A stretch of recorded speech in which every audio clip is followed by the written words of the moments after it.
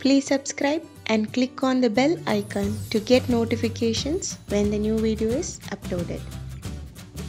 Welcome back. Let's see how to make Manathakkali Cheera. Take off the leaves from the stem along with those cute berries and wash it and keep it ready.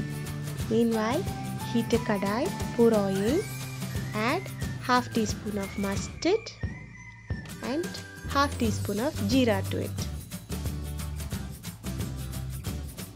Manathakkali is also known as black nightshade or sunberry. Add quarter teaspoon of fennel seeds to it.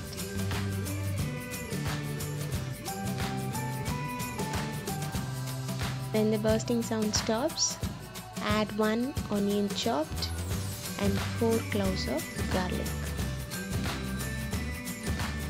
Add 2 to 3 red chilies according to the spice you need.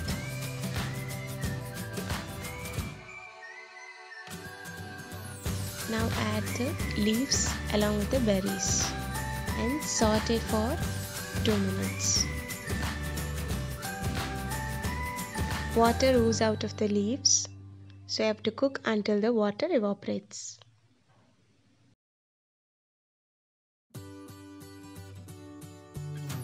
Add salt as required. I am adding only quarter teaspoon. Leafy vegetables require less amount of salt when compared to other vegetables.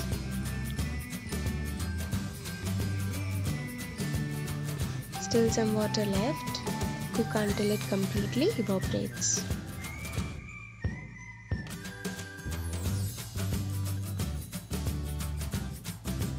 Meanwhile, scrap half cup of coconut. More coconut, more taste. So add as much as you need.